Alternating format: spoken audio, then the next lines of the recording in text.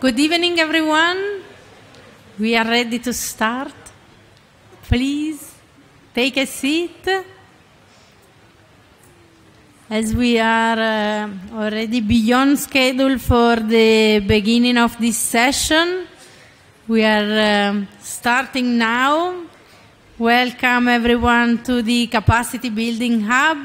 Good evening. My name is Roberta Ianna. I'm uh, one of the co-chairs together with my colleague Yongxiang of the Paris uh, Committee on Capacity Building, the PCCB, which by now you, all of you knows very well. And uh, I really welcome you uh, to this very special occasion where um, We'll focus uh, on the work of the PCCB, presenting the pilot phase of the PCCB network uh, and the results and evaluation of it. So let's um, take a look to the slide. First and foremost, let me introduce you the PCCB. The Paris Committee on Capacity Building was established at COP21 in 2015 and seeks to address current and emerging gaps and needs in implementing and further enhancing capacity building in developing countries. The PCCB work areas include uh, enhancing coherence and coordination on capacity building under the Convention and the Paris Agreement, identifying uh, current and emerging uh, capacity gaps and needs, uh, and recommending ways to address them. And uh, three, promoting awareness raising, knowledge and information sharing, and stakeholder engagement. I think. Okay, the next slide. To support PCCB's mission and mandate, the committee launched the PCCB network in 2020 as a voluntary association of interested uh, stakeholders engaged in climate-related uh, capacity building work and activities. And the, the PCCB network provides a platform to share information on best practices uh, and contributes uh, to the work of the PCCB in fulfilling its mandate, besides also seeking to connect uh, with its peers uh, across the sectors uh, and regions. Under the umbrella of the PCCB work areas, the PCCB network activities can be clustered uh, as follows. Technical first, technical exchanges and peer learning such as webinar and workshops. Second, communication and outreach through products like newsletters, stories, podcasts, interviews and postcards. And third, networking and engagement as per all members meeting, regional meetups, survey and open calls for proposals. As you could, should see in slide, well, then I'll, the network uh, engages with a diverse range of organizations which spans the globe. And uh, we regularly mobilize the expertise of the network members uh, at the international level the, through the capacity building hub at COPS. And we are currently in the final day of the fourth edition of the capacity building hub. And at regional level to, through PCCB side events at the UNFCCC regional climate weeks. Uh, the PCCB delivers its side events in collaboration uh, with its network uh, here and at the regional weeks. And the network, uh, much like the hub, uh, is a platform for representation and collaboration. Uh, as said, uh, the PCCB network's members span not only across regions uh, but also across sectors. And given the PCCB working group two on cross-cutting issues focuses on integrating cross-cutting issues uh, such as gender responsiveness, human rights, indigenous people knowledge and youth, uh, you can see that the network engages with a number of organizations and institutions uh, focusing on mainstreaming one of more these cross-cutting issues uh, in their work. With the end of the pilot phase of the PCCB network, as of today, the network unites uh, 30, uh, 312 organizations that work uh, in and address several areas of capacity building in the context of climate action. and um, the growth of the network over the year, uh, as you can imagine, has been impressive since uh, 2020. And uh, if your institution or organization works on capacity building for climate action and you would like to join uh, our growing numbers, uh, please uh, uh, join the PCCB network. It's very easy. It's uh, about just filling a form uh, on the web page uh, of the PCCB on the web PCC of the UNFCCC web website or just uh, um, scanning this QR code you can see in the slide. And before I continue, let me first explain what the pilot phase of the network entails uh, and how we conducted uh, the evaluation. The PCCB network was launched uh, in its pilot phase in April 2020 and since then has conducted regular communication with members of the PCCB and its network to enhance the planning and outcomes of the network activities. The evaluation framework for the, the, pilot phase of the PCCB network to measure progress from March 2020 to November 2022 includes uh, three streams of evaluation. The first being an overview of the pilot phase, uh, which included evaluating reports and surveys developed uh, since the network's inception. Second, qualitative feedback through a series of questionnaires with active and inactive network members that joined from 2020 onwards. And uh, third, as a result-based assessment, uh, and, and, third, a, a result-based assessment of the various pilot phase activities. Today, we seek to present some of the outcome of the evaluation of the PCCB network pilot phase, and the report will be launched on December 1st uh, and, and, published on the website. So you will have here as a quick uh, sneak peek of it.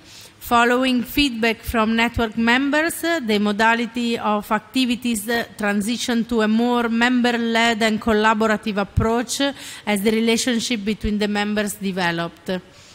By reviewing the 15 PCCB network events held since 2020, the technical exchanges and peer and peer learning activities have covered different cross-cutting issues. But of course, there is always room for improvement. PCCB network events had a strong focus on action for climate empowerment, for short ACE. And yesterday, for those of you who were here, um, we had uh, the hub themed after the ACE uh, process with lots of uh, uh events uh, focusing on building capacities uh, on the ACE elements. And the focus on gender also was involved in uh, one third of uh, all the events uh, we held, followed by youth, indigenous people, and human rights, respectively. In the assessment of network activities of the pilot phase evaluation, the performance of the different activities was measured with individual threshold in um, awareness raising and engagement, inclusiveness and diversities, and convening stakeholders. As an example of how the network activities were assessed, we are having a look at the technical exchanges and peer learning activities. Here in the slide you can see, and for the events hosted by the PCCB network in collaboration with its uh, network members, all three dimensions uh, improved significantly from 2020 to 2022 as the latest uh, events from this year exceeded previous expectations, especially the assessment dimension of convening stakeholders, we can say really improved after making a member-member collaboration necessary. More and detailed information of the assessment outcomes and other activities will be available in the report um, uh, mentioned to be published on uh, December 1st.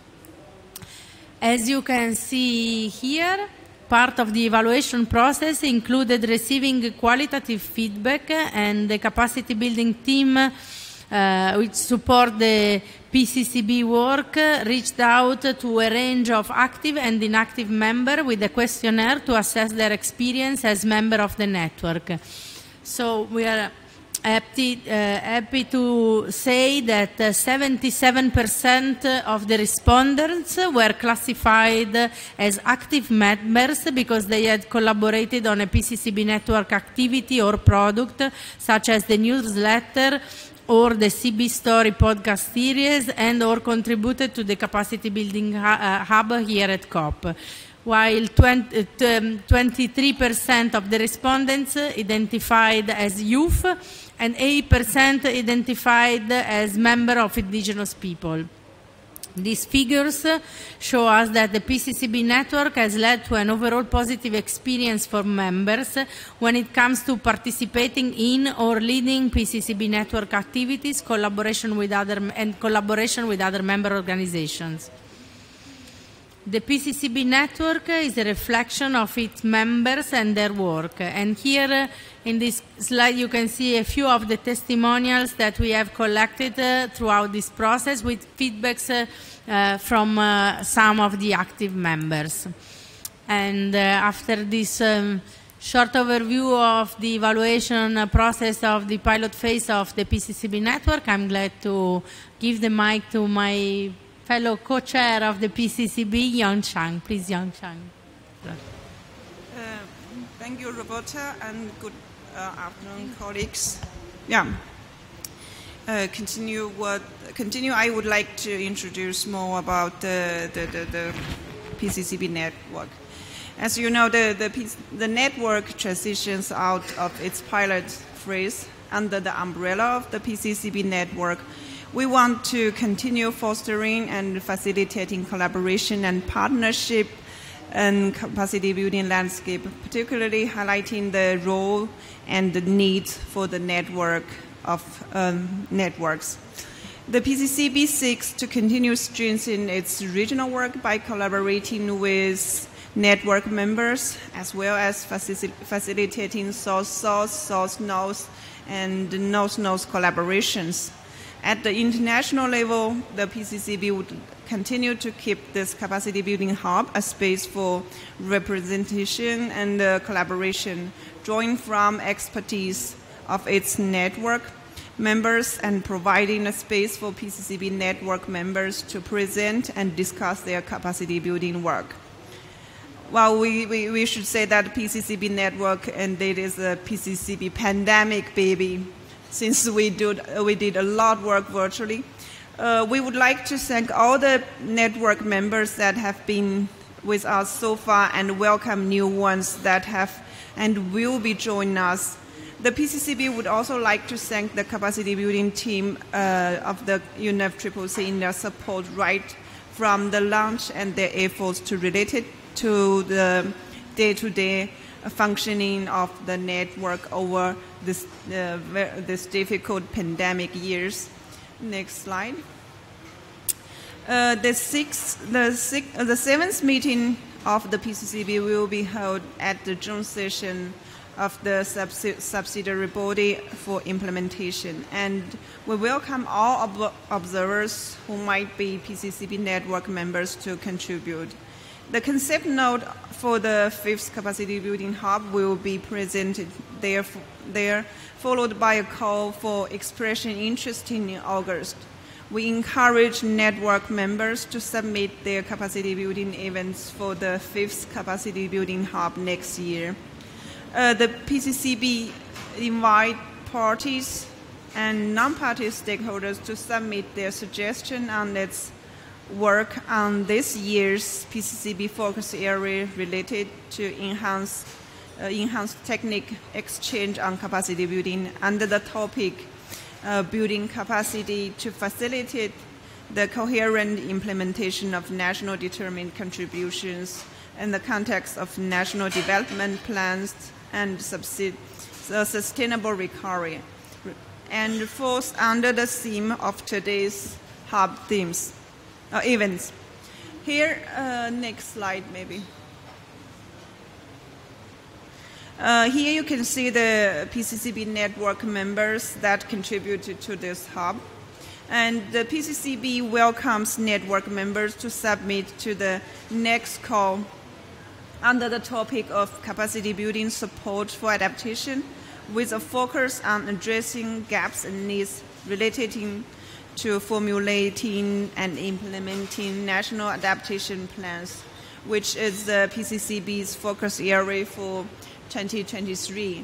So uh, uh, at this point, I would like to stop our introduction and uh, I want to open the floor for any questions related with the PCCB network.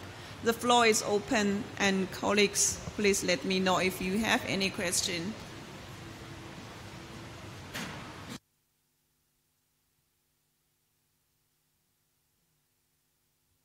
Please, Please. Take the mic.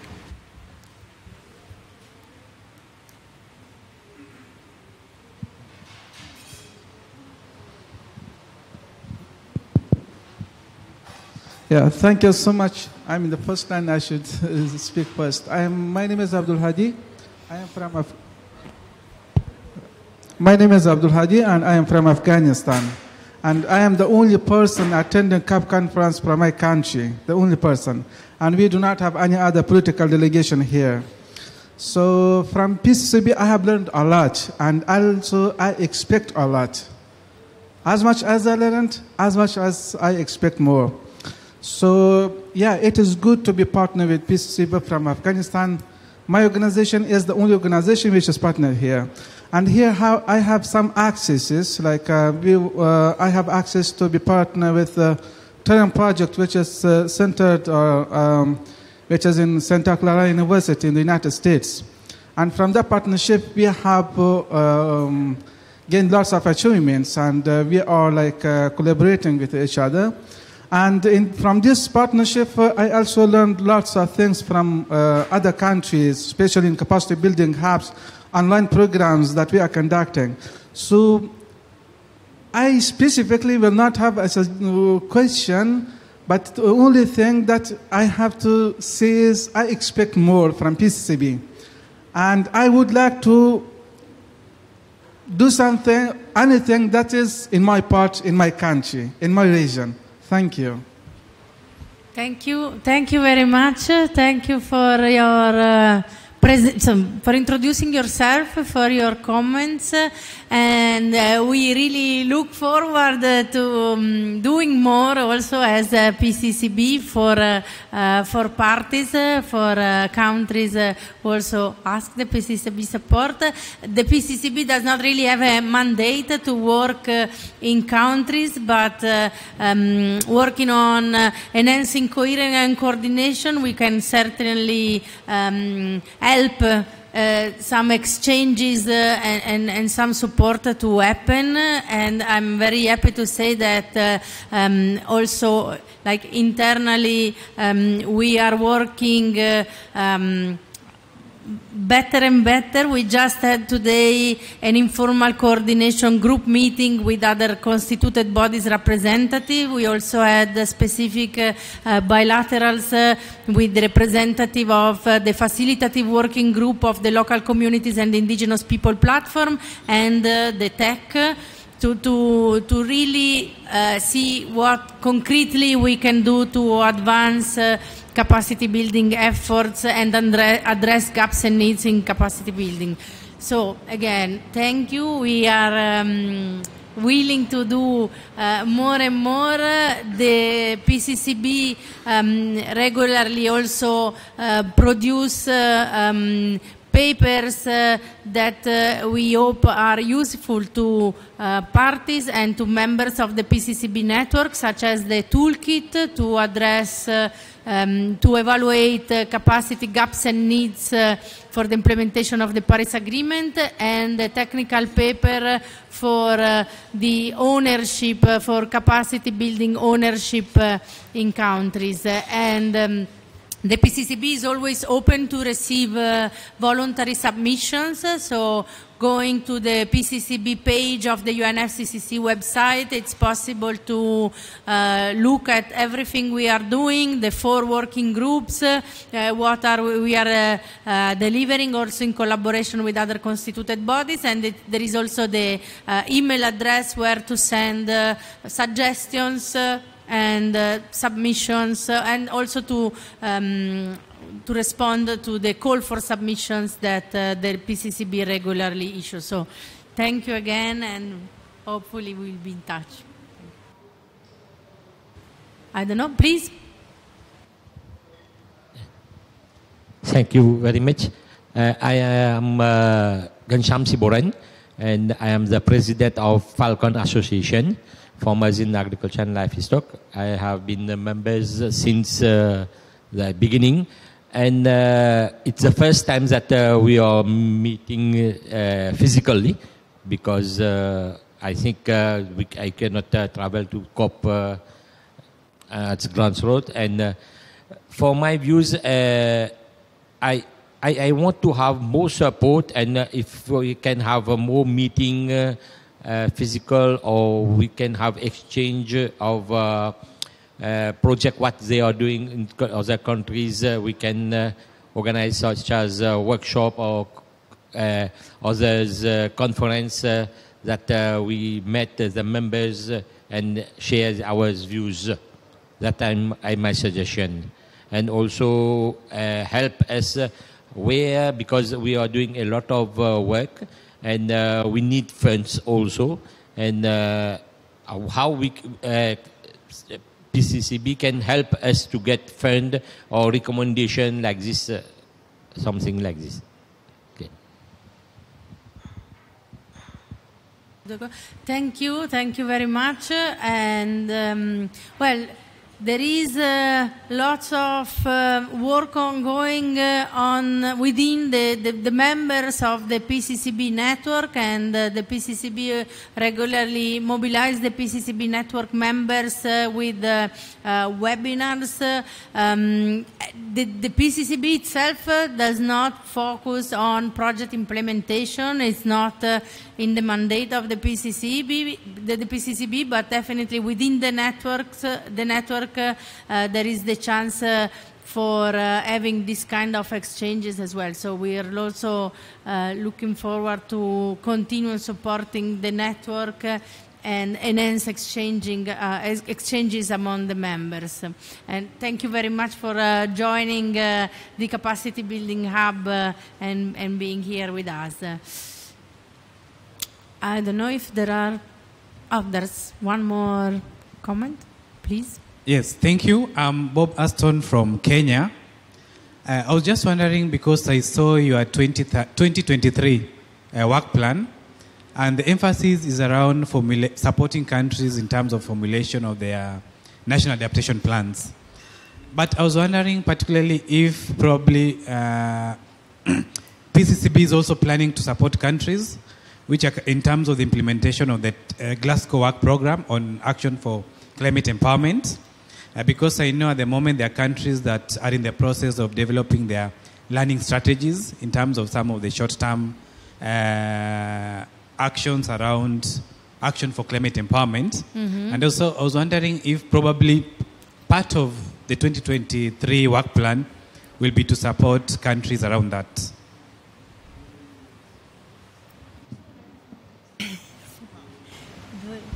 Well, thank you for your question. And uh, this is what we really want to do, but we can't do because, uh, according to the mandate, the PCCB more is about to do to, to help um, developing countries to identify their gaps and needs, and also to to, to avoid the duplication of what uh, the capacity building on the ground. But uh, we have very very limited resource to to really but we could uh, help you to, to, to, to see the chance to, can, to, uh, to access to, to those fundings, but we don't have funding for uh, uh, specific project. It's, it's a pity, but well, that's the truth. But do we really focus on this adaptation work plan and uh, help to find more um, more way to uh, help countries to access to those fund for adaptation. But for sure, there's adaptation fund under the adaptation uh, agenda item. So that probably the way you could fund there. But here we will provide more acknowledge uh, information and experience on this on this topic. Thank you. Yes, uh, and, and just to add that um, we are uh, anyway working very closely with the ACE uh, process, uh, and uh, in the informal coordination group meeting we had before, the ACE process was represented, uh, and in the new action plan of ACE, there are references to strengthen the work and collaboration with constituted bodies, so we will have the chance to work with the ACE process more and more. But as uh, uh, as Yongxiang said, uh, um, the, the, the the PCCB does not really have an implementation uh, mandate, so it will be about enhancing coherence and coordinations and among bodies, among activities related to capacity building to, to, to, to support a successful implementation of the Paris Agreement.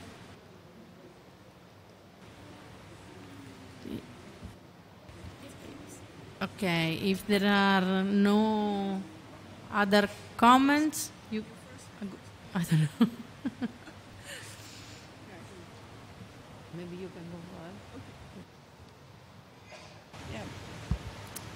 Okay.